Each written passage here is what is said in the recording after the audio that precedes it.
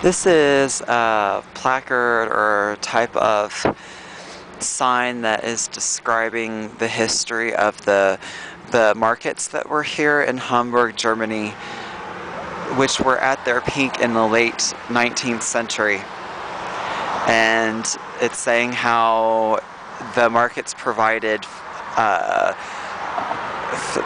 vegetables, fruit, meat, and fish for for the means of living for the residents in this greater area, and how the middlemen would come here to obtain the the produce, the, the, products and everything, and then deliver it to the neighborhoods, and that was kind of how the, the chain was established. And it looks like the scale of the place was quite huge.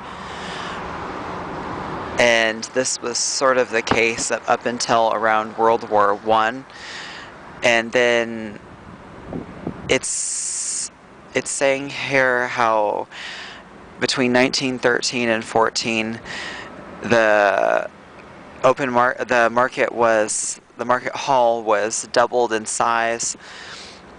And it was continuing to expand but then it doesn't really refer oh it does refer to the war. It says that after World War II everything was restored for like industrial purposes. And it became more more of like a flower market and and um, kind of went into a decline although restoration has taken place particularly in the 60s so I can't imagine what the smell must have been like here with all of that produce. Here's just a brief panorama of what's the beginning of what I would call the Docklands area, but there are a lot of art galleries and institutes studying design in this area, including photography here. This is the um, house house of photography. And you can really feel that this is a distribution point. I think this is still the second most active port in Europe after Rotterdam or the Rotterdam area. You can see kind of a nice view here. I promise you water soon. This city is very wealthy. Although I think that if you were to try to come here and make a lot of money, even as a German, it would be very difficult.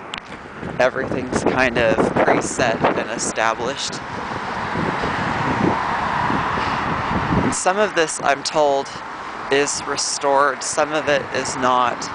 Where we're going into is more developed than other places. One thing I do like about Germany is though it is slower than New York City, you would say, it's much more on the move than other places in Europe that I have seen. And wherever people move faster, that means that money is switching hands more quickly as well. Oh, this must be the the Hamburg branch of Der Spiegel. I I imagine their main offices are are down in in Cologne or Frankfurt since they're very finance centric. Oh, and there's a shop with their stuff. I was supposed to go to a German class at the public library this morning, but the library was closed, and I'm not really sure where I would enter to get into this class. I, I wasn't anticipating that the library uh, main activities would be closed at this hour. It doesn't open until 11 a.m. And I will be making a video about this library's policies regarding